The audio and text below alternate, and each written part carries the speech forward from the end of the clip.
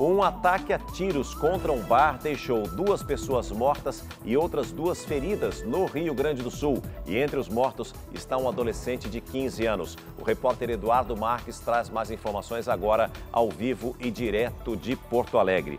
Bom dia para você, Eduardo. Bom dia, César. E de acordo com a Polícia Civil, um veículo chegou nesse local e disparou pelo menos 15 vezes em direção às pessoas que estavam nesse local. Infelizmente, um adolescente de 15 anos morreu. Trata-se de Éder Soares Batista, que morreu na hora.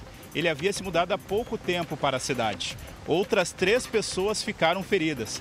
Elas foram encaminhadas ao Hospital de Caridade de Juí. Ainda na noite de terça-feira, um dos feridos, o dono do bar, Alberto Aleino de Oliveira, de 52 anos, também morreu. Outros dois baleados seguem hospitalizados. A identidade das vítimas não foi informada. A Polícia Civil investiga a motivação deste crime. Ninguém foi preso. Voltamos ao estúdio do Hoje em Dia. Obrigado pelas informações, Eduardo. Um ótimo dia a você e a todo o povo gaúcho.